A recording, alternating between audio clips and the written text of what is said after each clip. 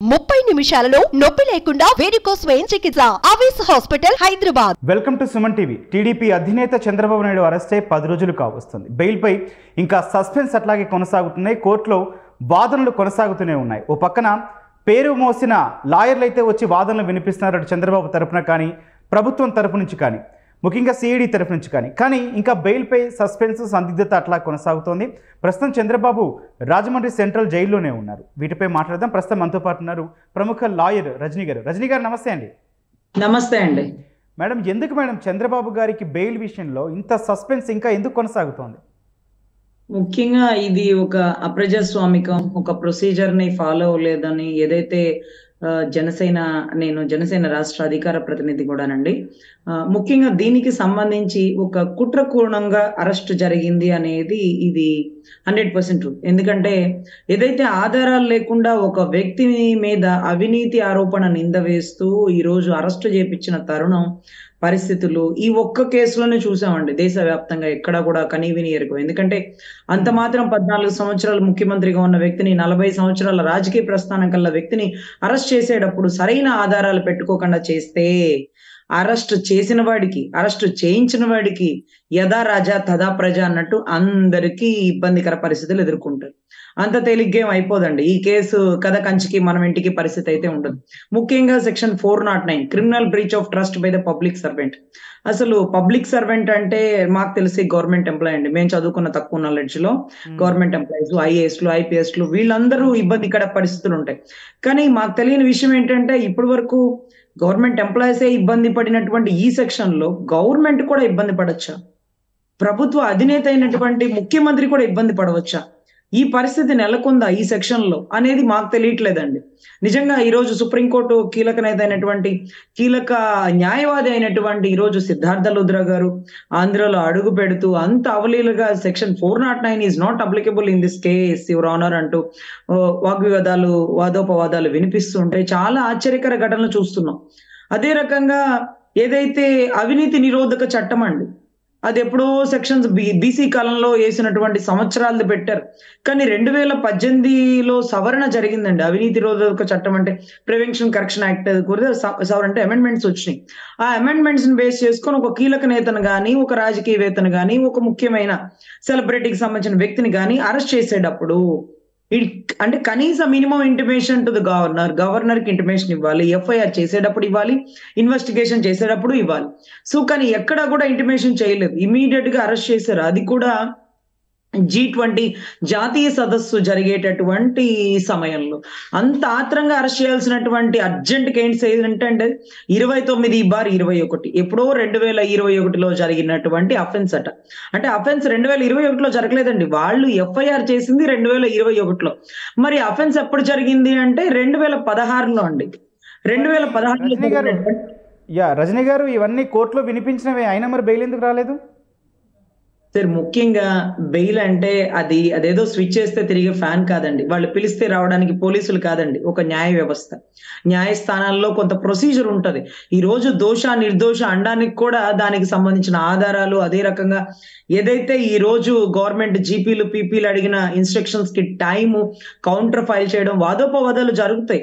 ఈ రోజు మా దగ్గరికి మాజీ సీఎం వచ్చాడు కదా లేకపోతే అవినీతి కేసుల్లో ఇరుక్కున్న ముప్పై ఏడు కేసుల్లో ముద్దాయి జగన్ గారు వచ్చారు కదా అని ఏమి procedure పరిగెట్టదండి. Procedure as per norms as per rule అన్నమాట. సో దాని ప్రకారం ఈ రోజు ఈ రోజు క్వాష్ పిటిషన్ వేశారండి. హైకోర్టులో ఎన్ని క్వాష్ పిటిషన్స్ పెండింగ్ ఉన్నాయో తెలుసా? క్వాష్ పిటిషన్ అనేది ఇవాళ వేస్తే రేపు వస్తుంది అనుకుంటున్నారా? సచ్ లాంగ్ ప్రొసీజర్ అటువంటిది కూడా ఈ రోజు కొంచెం త్వరితగతిన జరుగుతూ ఉందని చెప్పాలి. ఎందుకంటే ఈ రోజు వేసిన కేసు మళ్ళీ ఒక వన్ వీక్లో వాయిదాకు వచ్చి వాయిదాలో వాదోపవాదాలు వినే పరిస్థితి నెలకొంది అంటే ఇది చాలా గొప్ప పరిణామాలు. సో దీన్ని అంత తేలిగ్గా అవదండి. కొంచెం ప్రొసీజర్ పడుతుంది కొంచెం టైం పడుతుంది. ఒక వ్యక్తి దోషైనా నిర్దోషైనా ఒకసారి కోర్టు మెట్లు ఎక్కాడంటే ఖచ్చితంగా కొంత టైంకి అనుకువగా ఆధారపడి ఉంటుంది. హండ్రెడ్ పర్సెంట్ దీంట్లో కొంచెం ఇన్స్ట్రక్షన్స్ లేట్ అవుతుందండి. మళ్ళీ వాయిదా వేశారు. అదే రకంగా జడ్జిమెంట్ రిజర్వ్ చేసి పెట్టారు. అదే వాదోపవాదాలు అయిపోయి జడ్జిమెంట్ రిజర్వ్ చేశారు. అది అనౌన్స్ చేస్తుంది షార్ట్ పీరియడ్లో. ఖచ్చితంగా ఆ వ్యక్తి నిర్దోషిగా బయటకు వచ్చే అవకాశాలు వంద పర్సెంట్ ఉన్నాయండి. ఎందుకంటే ఆధారాలు ప్రొడ్యూస్ చేయలేకుండా గవర్నమెంట్ ఆరోపణలు చేస్తూ ఫోర్ నాట్ నైన్ అప్లికబుల్ కాని సెక్షన్ ఇంటెన్షనల్గా ఇరికిస్తూ ఒక వ్యక్తిని ఇన్ని రోజులు రిమాండ్ విధించడం అంటే చాలా దారుణమైన పరిస్థితి అండి. రజనీ నిజంగానే గారు- రజనీ గారు ఈ కేసులో వాదనలు మొదటి నుంచి గమనిస్తూ ఉన్నాము.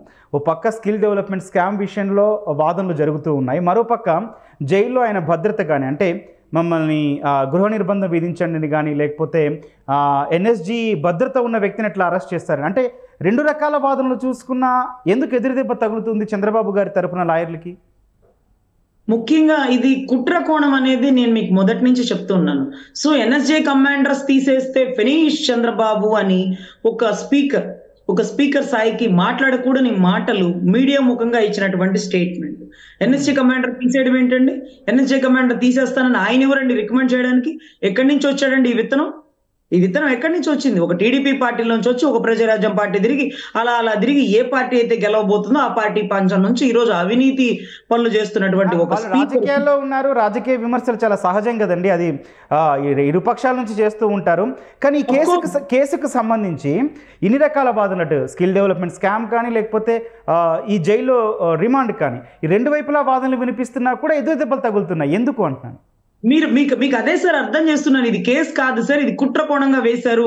ఈరోజు రోజు తమ్మినేని సీతారాం గారు ఏది డైరెక్ట్గా మాట్లాడరు. ఎక్కడో ఎవడో విజిలేసి మాట్లాడమంటేనే మాట్లాడతారు.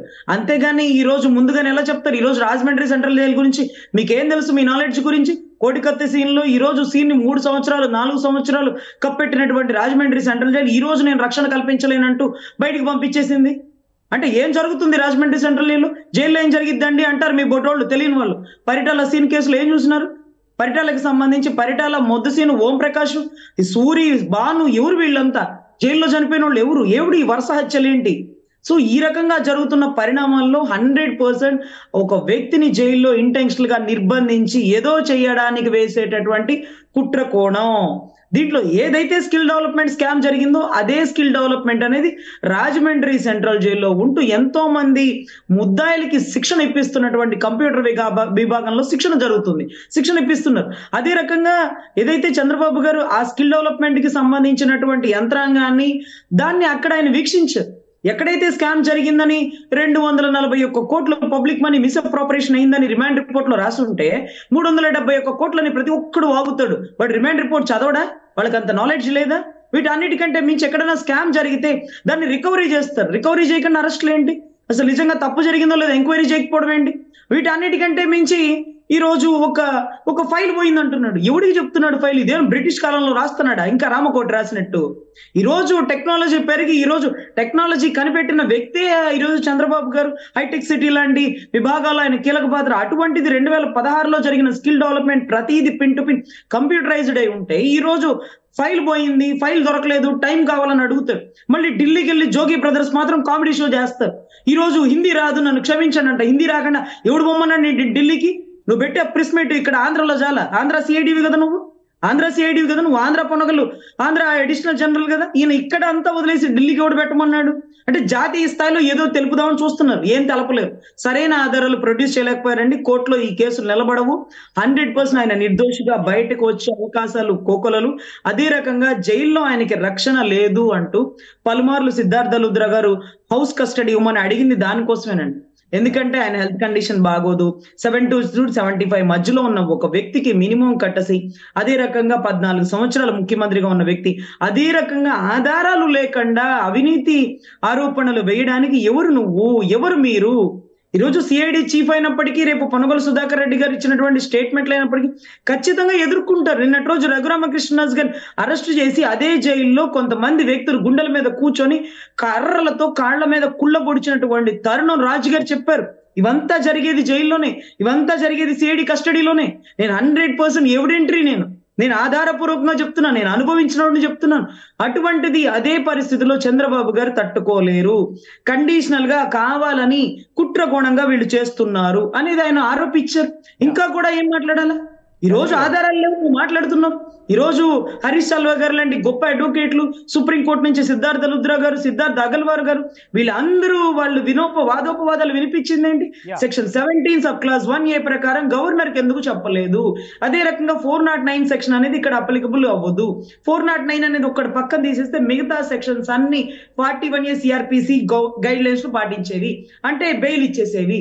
అంటే నువ్వు ఏదైనా నోటీస్ ఇవ్వు. ఫార్టీ వన్ నోటీస్ ఇవ్వు. అంతేగాని నువ్వు అరెస్ట్ చేసి లోపలికి వెళ్ళి ఆధారాలు అడిగితే ఆధారాలు లేవంటూ మీడియా ముందుకు వచ్చి గంగిరెద్దుల్లాగా ఆధారాలు చెప్తుంటే ఎవరు ఊరుకుంటారు సార్? ఈ రోజు defamation. File yeah yeah. Rajini garu ఒక పాయింట్ ఒక పాయింట్ చెప్పండి. ఒకవేళ ఈ కేసులో స్కిల్ డెవలప్మెంట్ స్కామ్ కేసులో రెండు వందల డెబ్బై ఒక్క కోట్ల అవినీతికి సంబంధించి ఒకవేళ రికవరీ చేయాల్సి ఉంటే ఎక్కడి నుంచి రికవరీ చేస్తారు? దాని గురించి ప్రభుత్వం ఏం చెప్తోందండి?